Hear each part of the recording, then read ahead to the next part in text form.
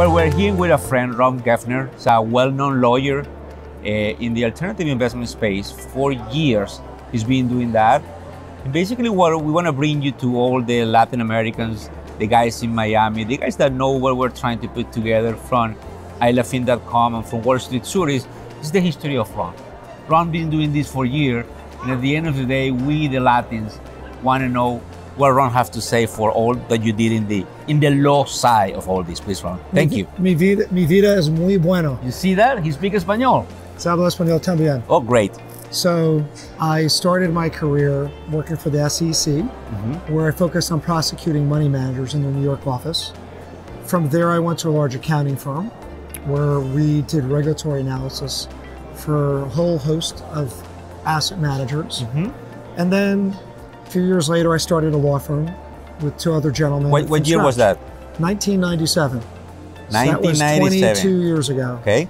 We started it, there were three lawyers. I left my name off of the firm, which often results in people wondering why I left my- my name off of it since I founded it. And it was more, I didn't want people asking me if it was my father's law firm. Mm-hmm. I didn't want people asking me if we were only three lawyers. And then as I interviewed other lawyers who had fear mm-hmm. as their guidepost saying that their name needed to be on the door to attract business, it also gave me not only do as I say, but do as I do, that their name did not need to be on the letterhead to be successful at their career. Mm-hmm. And that wasn't a real limitation. And from there, we've started it. I've been very focused on That representing. was in the city in New York.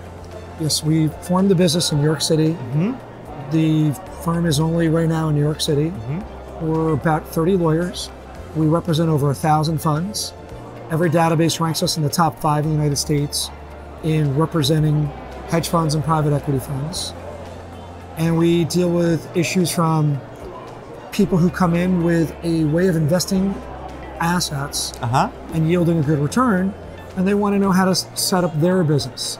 Meaning, should it be in a fund? Should it be separately managed accounts? What are the regulatory requirements? What are the tax effects? What are the risks to them from a liability perspective? How do they deal with any business partners? How do they deal with any employees?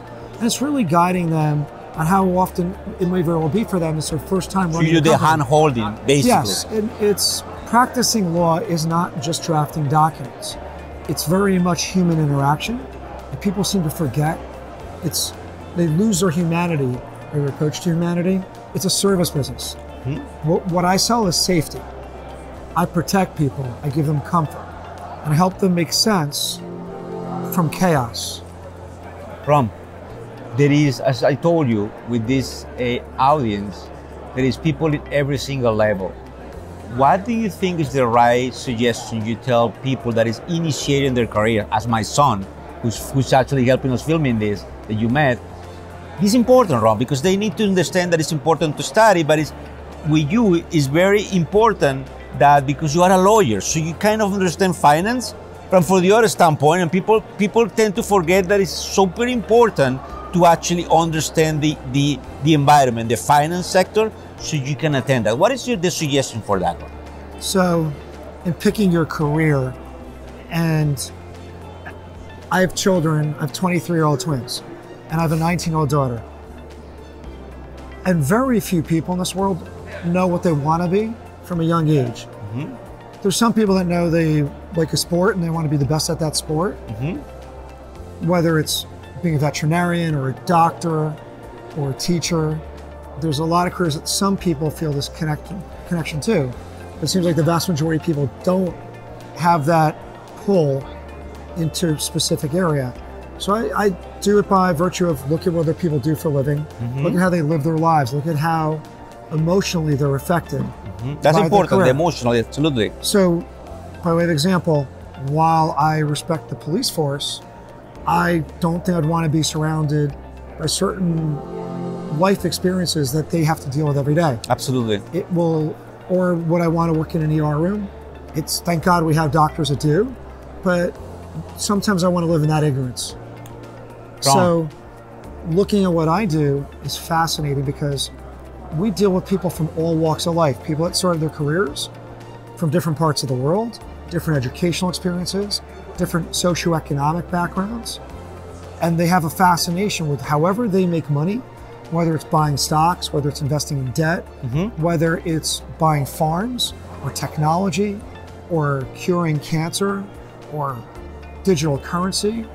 It's never ending. Every day is a learning day. It's a learning day. And that's what I really enjoy. It doesn't get boring. And we deal with people. Learning the human condition is fascinating. When people act in an aberrated way, trying to assess what fear are they dealing with that's causing them to behave in this manner that doesn't make sense under the circumstances. It's not just about what we're doing, it's about something bigger. And when you can apply that, it's more empowering and it's more rewarding. Listen, Ron, one of the things that brought us together, I remember, is that in 2011, we were very active at the Hedge Fund Association. It's important for them to understand the power of networking and how actually translated into, in your case with your firm, potential new clients, but also the thought leadership, the importance of being seeing Ron Geffner taking the time to go into this kind of a non-profit association as I did in Latin America. So tell them the importance of that. They, they, they tend to, to understand that, but they don't translate it o- this overnight. And, and we understand that this is not an overnight success. No, this has been, this has taken a lifetime. It's like having another child. So, for everybody, how you spend your time and who you associate with, there are really three takeaways. As you were asking me the question, I thought mm-hmm. about it. First is the knowledge you develop, having information is valuable.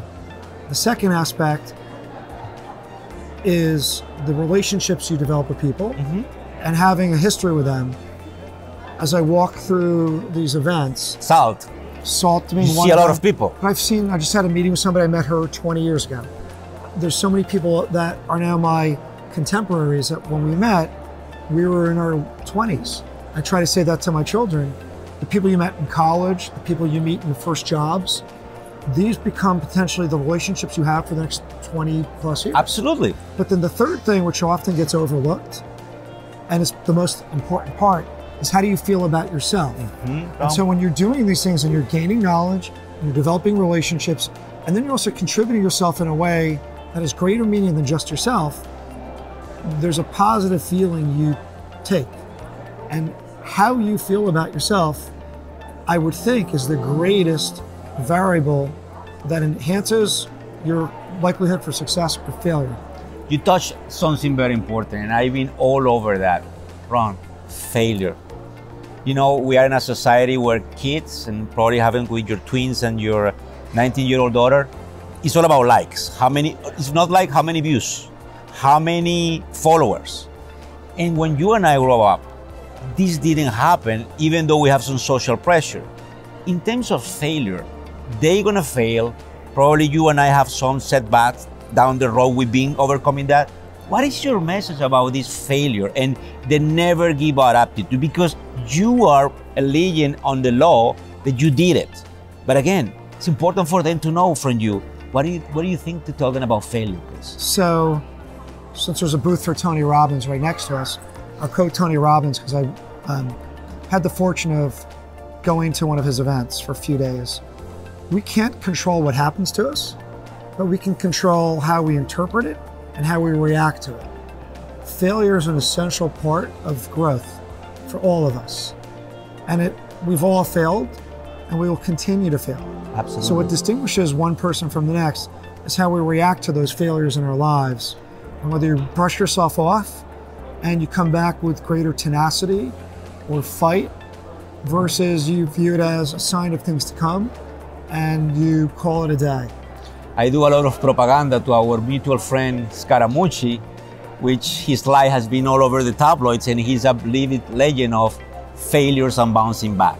Ron, I appreciate uh, the time you took with uh, iLAfin and with the team that we're putting. As I told you, all this together for the alternative investment space. We definitely want to invite you to uh, uh, participate a little bit more in Latin America. Always my pleasure. And why don't you finish with some Spanish words to the audience? Buenos dias is buenos. Uh, well, we're one. I'll, I'll say it in English.